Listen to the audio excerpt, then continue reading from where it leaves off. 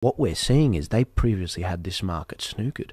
They previously had kids, both parents in you know working, and in, in order to raise these kids, you'd had to give it to the state. These three kids, you give them to the state, and they'd come home and they'd want to chop their genitalia off, or they'd be spouting all this crap about LGBT or everything to do with regards to you know Aboriginal stuff. That's a false whitewashed history.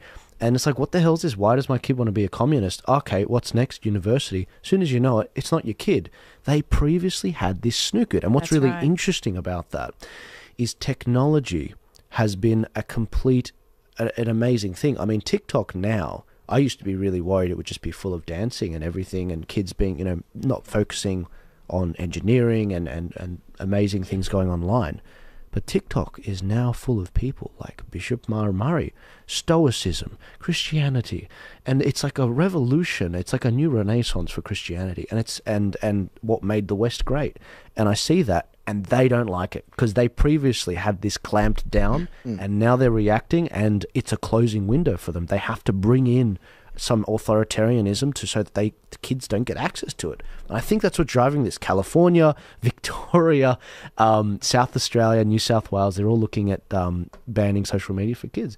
I believe this is why. Well, if you look at one of the biggest and most important things to take into account here is why are we seeing this come out of the kids in the way that we are? It's because let's step back a minute. Look at people 100 years ago, 200 years ago, 300 years ago. People, when you look at their core, who they are, especially if you look at Australians or before when they were in the UK and Europe, if you look at who these people were before all this happened, they weren't. Marxism would never have taken off in the past. They would have gone, What? That's crazy. Why would I do that? That doesn't make any sense. So if you look at it, what is actually happening is they're being exposed to imagery and videos and information now that is triggering something in their subconscious. It's triggering something that is written into them that, you know, their fathers, mothers, grandmothers, grandfathers, all of those people in their heritage doesn't matter where they're from it's it's all their people in their heritage it's coming out of them. When they see things of the past that look beautiful it triggers something in them. When they see the old fashioned photos it triggers something. When they see all the christianity it triggers something in them. Because if you look at a lot of these people who are involved in say climate change I've met a lot of them. A lot of them aren't bad people. They're not bad people. They really aren't. But if you look at their belief in it, it is a spiritual belief. They're filling a void that's in them, that's been in their DNA for thousands of years of their ancestors who have had Christianity, or before that, they had paganism. They had some sort of spirituality. And then they come into this modern world where they've had it removed and they're trying to fill that void. And that's why they go to things like climate change or any of the other Marxist agendas and they take that on board into themselves. And when they actually do that, that's when they don't actually know who they are anymore. And they're going down this path of what they know is wrong, but they can't put their finger on it. And that's when they see these young kids who are still impressionable and haven't gone down that path yet, they see something like Christianity and it triggers something in them. Their parents and their grandparents might have been Christian, and it triggers something in them and they remember it. I mean, because people forget in terms of genetics, but no one else uh, really talks enough about it. But if you look at genetics, everybody has a genetic, you know, material from their parents, their grandparents. You are your grandparents. You are your great grandparents. You you are never going to get away from that fact. They helped make you and what you are. And all their mannerisms, their beliefs, their thoughts, the way that their thought process works, that's in them too. And I think when you look at that and look at why these people are responding to this, it's because it's people before them talking to them. It's through their genetics. Their genetics are being expressed. If you look at some people in the world, you know, um, they come from a country where it's all very strong people. When they go and lift weights or see weightlifting, they're attracted to it because it's in their genetics to be that. Yeah, way. when you put them under pressure, Yeah. it cracks something open. It That's does. what's really cool, isn't it? Absolutely. Well, if there's Yeah, generational trauma, perhaps there's generational non-trauma. You know, that exactly. you've got something in the back there, it gets passed down. Or mimesis, sort of a, a cultural memory that that we all definitely have. Um, and, and Christianity is, is a very strong version of it. Um, but um, it's interesting that, sort of speaking of the very young generation, I mean, we, ha- we have to also a- acknowledge that, for example, the, the Black Lives Matter riots and the modern trans movement probably also wouldn't have happened without the social media either.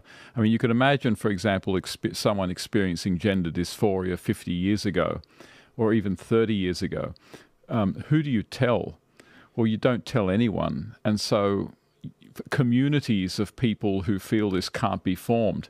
But if you have the internet and social media, you can go anonymous on Reddit or something and say, hey, this is what I'm feeling. And you wake up the next morning, 3,000 people have written and said, hey, I feel the same thing. And communities are born. So, you know, the internet has also given us the, um, well, um, the, um, the, the, the, certain madnesses of crowds that, that, that, we're, that we're seeing.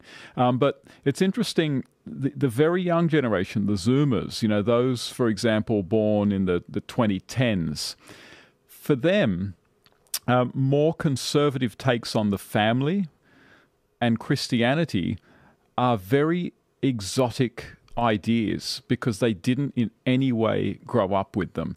I was born in 1978, and even I, when I went to Sunday school as a kid, there were kids in the street whose parents didn't go to church, but they sent their kids to Sunday school.